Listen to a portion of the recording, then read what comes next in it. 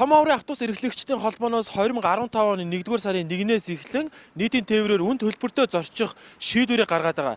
Тэгвэл нийслэлийн удирдлагууд болон одоо иргэд маань одоо ямар байр суурьтай байгааг та бүхэндээ өргөе. Өөрөөр хэлбэл Ахмад настан хөгжлийн бэрхшээлтэй иргэн оюутан цагдаагийн ажилчид нийтийн тээврээр үн төлбөргөө зорчдог. Үүний төсвийг ирэх оноос нийслэл рүү буцаан шилжүүлж байгаамаа. Тэгвэл нийслэлийн удирдлагын зүгээс энэхүү асуудлаар мэдээлэл өгсөн юм а. Энийг яаж шийдэх үү гэдэг дээрээ бас бид нар аргачлал зам хайж байгаа. Юу гэхээр хотын төсвөр энэ гэж хотын иргэд үйлчлүүлнэ гэсэн үг шүү дээ.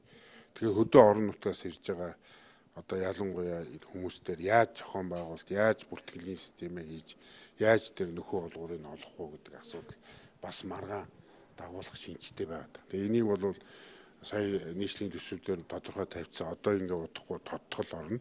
Тэгээд сая их хурлын эхний хилцүүлэг тодтгол дээр орсон. Тэгээд дараагийн хилцүүлэг ингээд нэмэгдээд явах бах. Тэгээд энэ дээр бол яаж зохион байгуулах вэ? Мэдээж энэ дунд бол иргэд одоо хохирох ёсгүй. Ялангуяа хөгжлийн бэрхшээлтэй иргэд ахмад настангуудыг бол хохироолгүйгээр энэ асуудлыг бол нэг мөр шийднэ гэсэн юм бодолтой байж. Манай улсад 115 мянган хөгжлийн бэрхшээлтэй иргэн 300 мянган ахмад настан 170 мянган орчим оюутнууд байдаг. Хөгжлийн бэрхшээлтэй иргэдийн хувьд 90 гаруй хувь нь хөдөлмөр эрхлэх боломжгүй байдгаас халамжийн мөнгөөр амьдралаа салгуулдаг. Тиймээс нийтийн тээврээр үнгүү зорчихоос өөр арга байдаггүйг учирлаж байсан ба. Харин ахмад настан болон оюутнууд нийтийн тээврээр үнгүү зорчих нь амжиргаанд чухал нөлөө үзүүлдгийг хэлж байна. Энэ шийдвэр чи айгүй буруу шүү дээ. Тэгээ ер нь бол явуулахгүй одоо энэ хотын захиргаа энэ автобус баазан тэр хоорондоо зогцох байдаг гэж бодоод шүү дээ тий. Бид нар ч юм бол угаасаа төрөөс нөгөө нэг төлбөрийг өгдөг шүү дээ. Тэр автобус баазтайгаа зогцоод арай одоо өндөр наснангуудаа тэгж мөнгөөр явуулахгүй байлгүй л гэж хүмүүс яриад. Гэхдээ одоо Монгол улсаа хөгжүүлэхийн төлөө тийм ээ.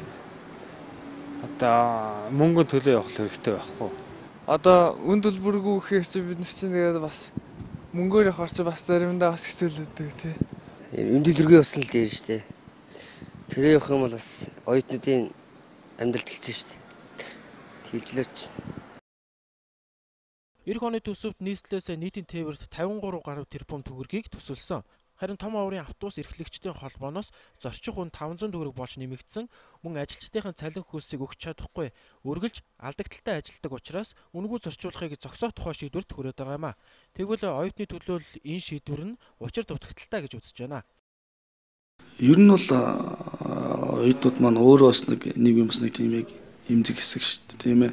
Яг байгаа 4 жилийн хугацаанд нөгөө Уул нь бол улс орны одоо ирээдүйн хөгжлийн гарцл гэж ярьдаг тийм ээ. Одоо оюутнууд маань улс орныхоо ирээдүйн одоо хөгжлийг авч явах хамгийн том одоо нэг том бүлгэн гэж ууг нь ярьдаг тийм ээ. Яг энэ дээр ч гэсэн тухайн одоо улс болгон дээр нэг тийм юм жишг байгаа. Яг оюутан зориулсан хөнгөлтийн систем тухайн оюутнууд маань үйлчилдэг тийм ээ.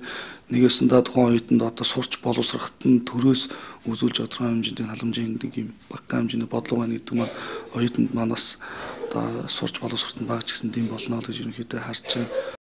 Том аврын автобус эрхлэгчдийн холбооноос энэхүү шийдвэрээ нийслэлийн удирдлагуудад хүргүүлсэн байгаа. Харин 2015 оны 1-р сарын 1-ээс иргэд мөнгөө төлөө зорчих үгүй нь тун удахгүй шийдэгдэх юм а.